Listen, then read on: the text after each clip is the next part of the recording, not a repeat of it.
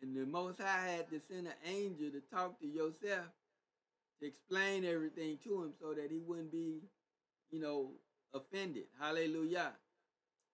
Verse 19 Then Joseph, her man, being a just man, and not willing to make her a public example, was minded to put her away privily.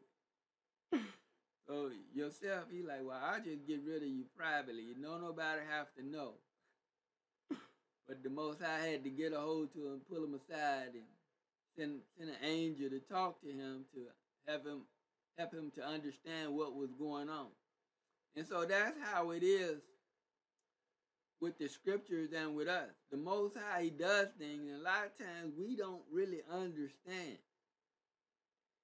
And even though it's written, but a lot of us still don't understand. And even when, when Yahushua was born, he's born the Messiah,